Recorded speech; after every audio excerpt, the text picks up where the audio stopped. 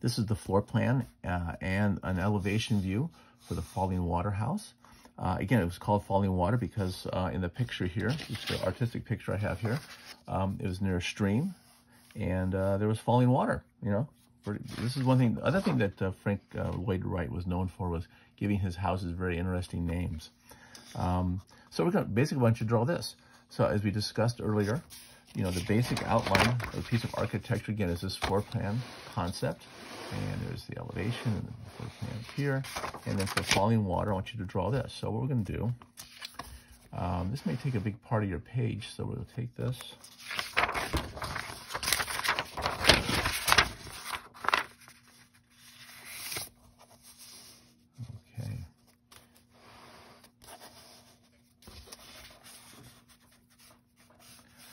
So we start with the topography, in a sense.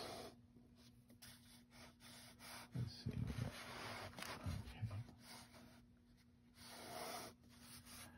Okay. And the topography is the actual surrounding land and environment that this house is built in.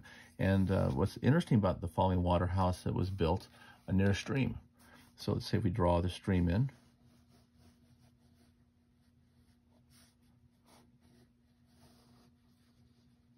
Okay. And then as I mentioned, we have these sort of relationship. Here's the, there's a terrace that comes out. Terrace meaning this is where people would stand. And um, you just look out over this beautiful area of the Pennsylvania hillside. There's the master bedroom here. So we'll put the master bedroom in, let's say that would just sort of a little light line. We have a terrace that comes out.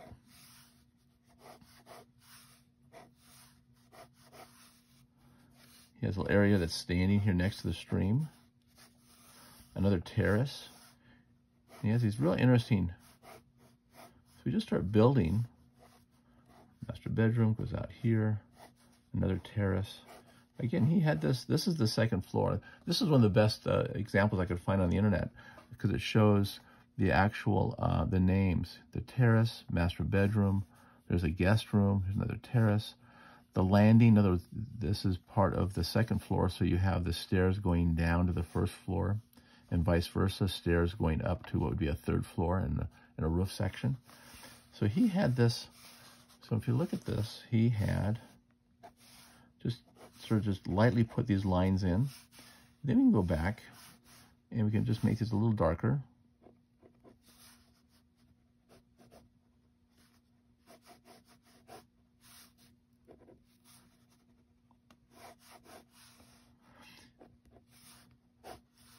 We could call this the terrace. Okay, just like here. There's a guest room. We'll just see GR, guest room. There's another terrace out this way. This overlooks the the um, this this creek that he's got.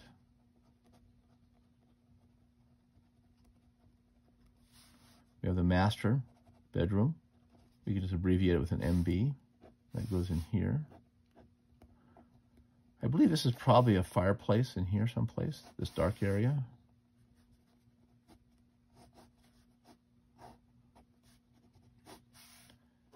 He's got another terrace out here.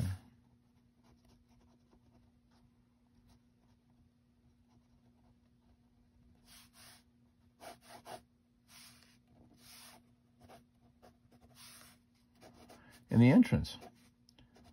You can even put an arrow for the entrance. This is his entrance through here. entrance comes this way. Okay.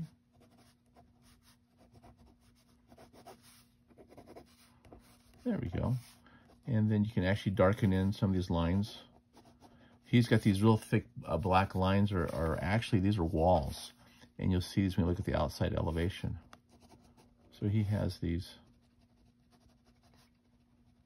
really dark areas for the structure.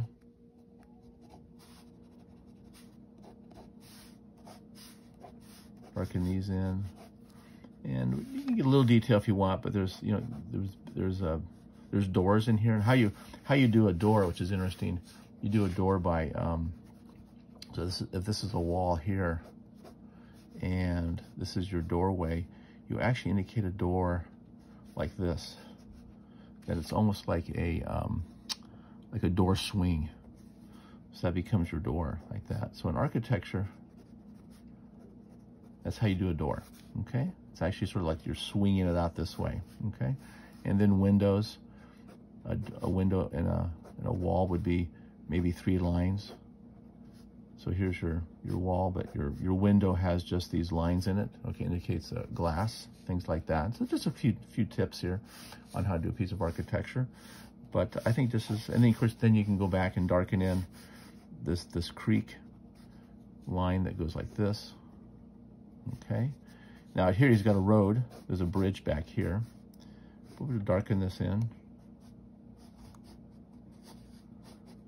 And just make sure it stands out. What's also you can use is, again, that method we used before, where you can just take a little, some crosshatch lines and do this.